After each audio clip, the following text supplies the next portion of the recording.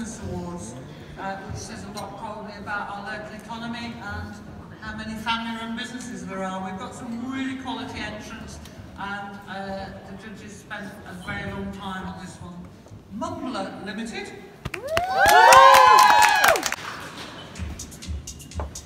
Mumbler Limited. Initially launched in 2011 as a community Facebook group for local families, Mumbler is now a fully fledged company with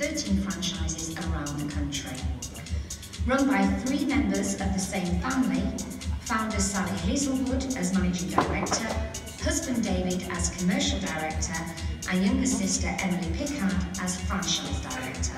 It's a family business to the core.